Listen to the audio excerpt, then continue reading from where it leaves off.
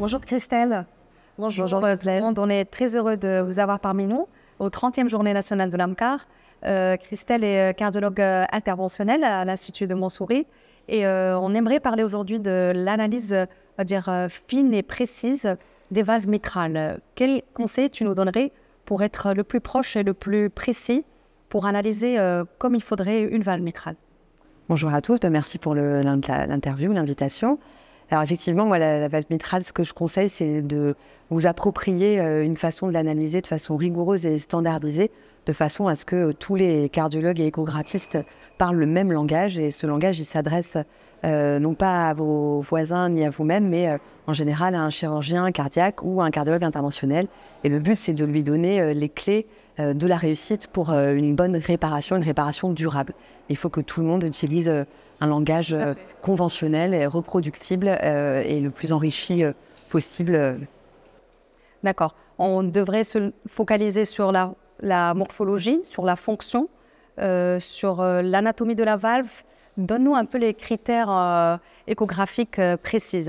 Alors l'anatomie, c'est la clé, hein. c'est vrai que ça, on ne le dira jamais assez, mais une bonne analyse commence déjà par un temps d'observation de, de l'anatomie de la valve, de, sa description euh, des feuillets, des lésions que vous constatez, euh, puis de la fonction, puisque une lésion euh, qui est due en général à une étiologie peut déboucher sur une dysfonction.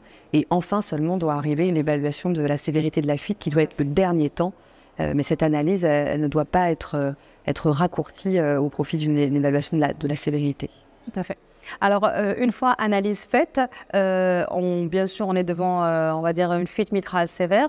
On pose une indication plastie ou éventuellement euh, intervention euh, type mitral clip, quels seraient les critères éligibles à l'une ou à l'autre euh, en gros hein? J'entends bien que c'est beaucoup plus vague que ceci.